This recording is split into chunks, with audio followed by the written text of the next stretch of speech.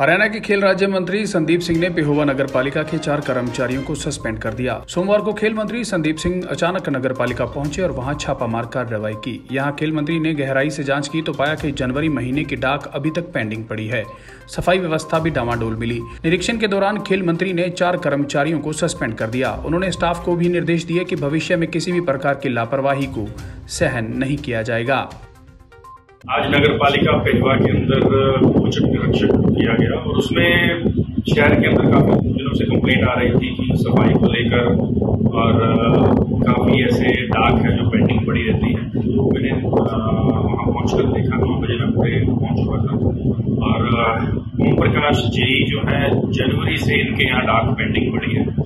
और ना ये ऑन टाइम आते हैं ऑफ़िस में।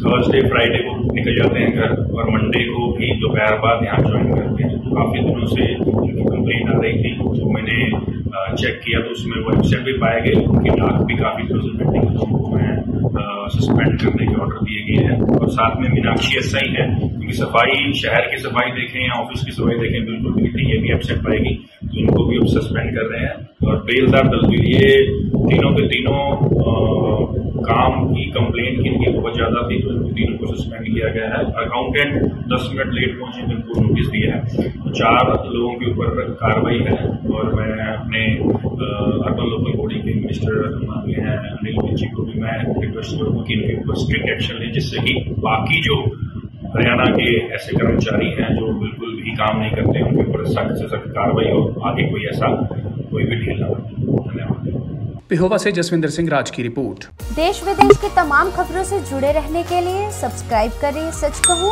और बेल आइकन प्रेस करके पाएँ हर लेटेस्ट अपडेट सबसे पहले।